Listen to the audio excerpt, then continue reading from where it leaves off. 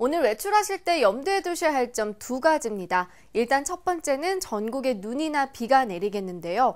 많은 눈이 예상됩니다. 폭설이 쏟아지는 곳도 있겠는데요. 그만큼 시설물 관리 잘 해주셔야겠고 사고 나지 않도록 조심하시기 바랍니다.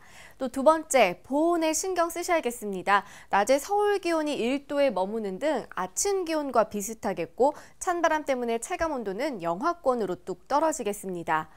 중북부 지방은 오늘, 그 밖의 지역은 내일까지 예상되는 눈의 양입니다. 제주 산간에는 최고 15cm의 많은 눈이 내리겠고 또 강원과 경기 동부, 충청 북부와 호남 서해안에는 10cm 이상의 폭설이 쏟아지겠습니다. 서울 등 그 밖의 지역에도 1에서 7cm의 눈이 내리겠습니다.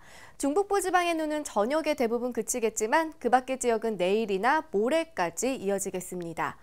오늘 낮 기온 어제보다 2도에서 5도가량 낮겠습니다. 서울 1도, 청주 4도, 대구 6도, 전주도 6도가 되겠고 그 밖의 지역 낮 기온 원주 2도, 충주도 2도, 안동 4도, 창원 11도로 예상됩니다. 내일과 모레는 추위 대비 더 단단히 하셔야겠는데요. 서울 아침 기온이 무려 영하 5도까지 떨어지겠습니다. 또 충청 이남 서해안과 제주도는 모레 오전까지 눈이 이어질 것으로 전망됩니다. 날씨 정보였습니다.